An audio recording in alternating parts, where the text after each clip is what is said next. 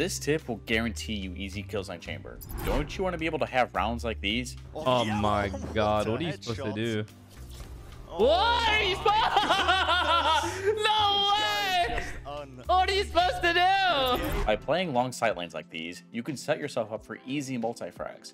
His Headhunter combined with his Rendezvous can put himself in spots that are hard to clear, uh, kill, and punish, sort of like a Killjoy turret. With three bullets and an unexpected setup, he can single-handedly win his team around. Uh, where else can you find that kind of value? Setups like these can even see over smokes so the enemy won't even be looking at you.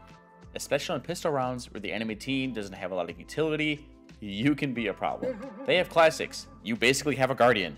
You do the math. Check out skill-capped.com for more tips.